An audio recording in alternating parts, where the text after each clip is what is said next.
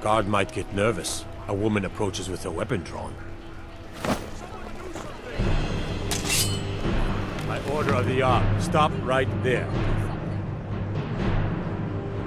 A stretch in the Castle Dour dungeon will straighten you right out.